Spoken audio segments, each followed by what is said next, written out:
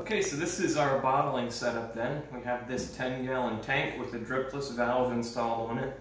Uh, we dump 5 gallon buckets of honey in here through a strainer. You may have seen that already or I might be showing it now. Uh, so yeah.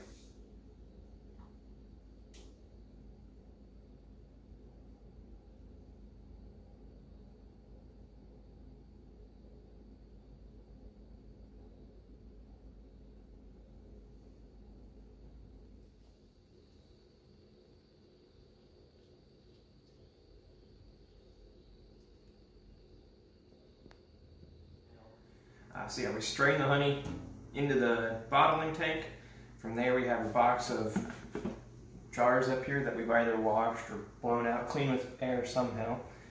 Take the bottle, put it under the spigot and open it up. And the tank's got 10 gallons in it. It goes about twice as fast as when it's half or three quarter empty. The back pressure helps a little bit. So it can be a little bit slow of a process as it goes, but it's all in all, it's fairly straightforward, fairly quick. Once it gets close, we let it drip for a while. Those last little bits come out, like so. And each bottle gets weighed to make sure that it's correct. So here I'm 0.2 of an ounce shy, so I'll top that one up.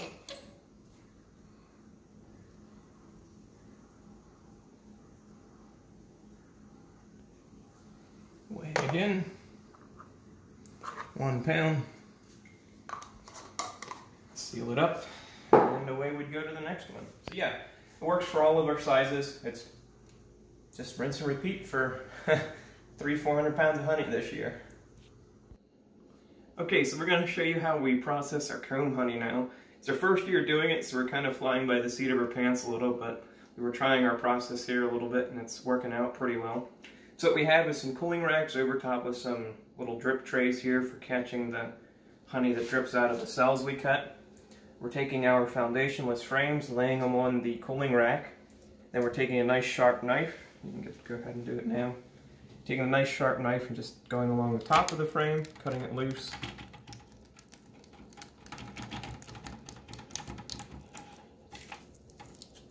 Then we're going to do the bottom of the frame, then we'll do each side as well. Just cutting the wax out of the frame.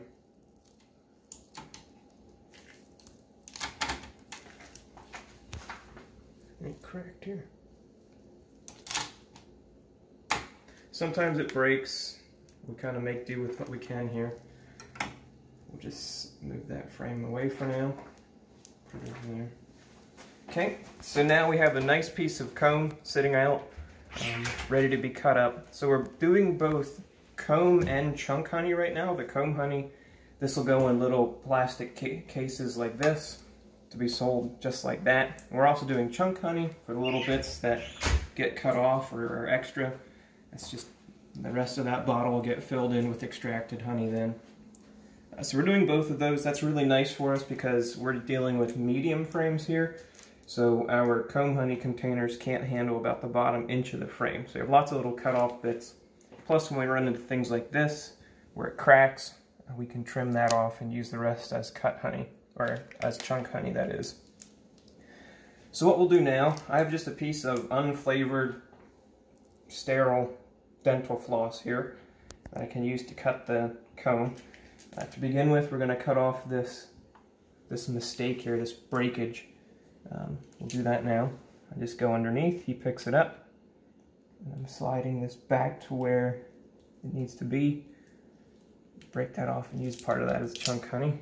The other part will just go and get fed back to the bees. And then what I can do, if I just bring my floss straight up, I can cross it over itself and just pull it through like I'm cutting a like a bakery pastry or something pull that apart, and that'll go in a chunk honey container. And I'm left with a very clean, very easy to do mark there. Now it's easiest for me to start from this side, so now we have that end cleaned up. We're gonna come and do this side. Probably good here. Probably. Yeah, we're good. We're good.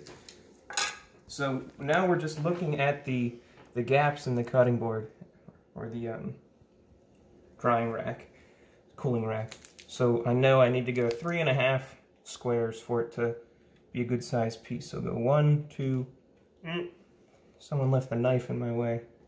Where else is cracked in the middle? I think we should probably start splitting in half and then get going. Okay, well, we'll get deal with that when we get there. So, starting from the end, one, two, three and a half. That's good. Come up around and pull through. There's a chunk honey or comb honey piece. All right, we'll just keep going. One, two, three and a half. Double check that I'm square.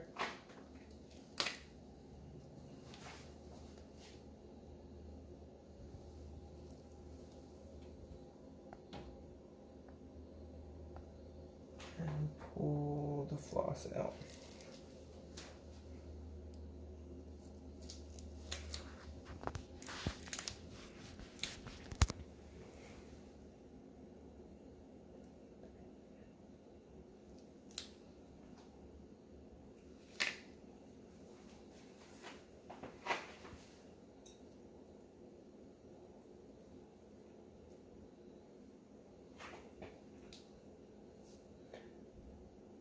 Use the floss to push the piece back out of the way a little bit.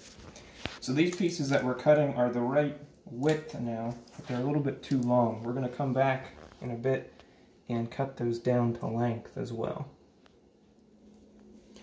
Alright, so what we have here is we marked two of the cross wires here, putting the top against one of them, and I have this floss laid across another. We can line up to three of them at a time here hold them tight together and then I can gently hold them together. Gently hold them together. Then I can come up across and cut these to length. Like so. And again, those little bottom pieces don't go to waste. They'll just get dropped in jars for chunk honey.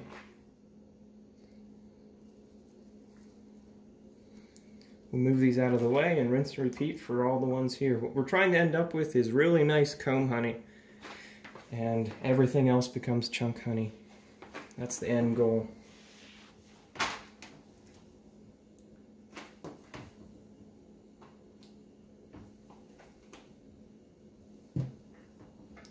We'll just let them drip for a few minutes here. Gets the excess wax or excess honey off the sides. Um, that just makes it package a little nicer in those containers. So leave them drip for a while and then we'll put them in the containers.